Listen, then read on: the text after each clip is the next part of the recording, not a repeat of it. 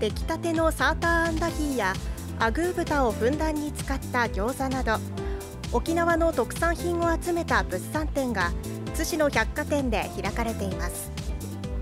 沖縄店には惣菜や惣菜やスイーツを扱う23店が出店。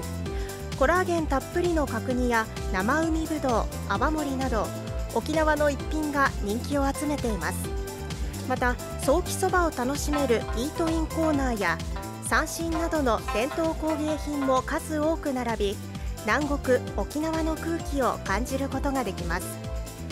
沖縄店は津市の松菱で今月30日まで開かれています。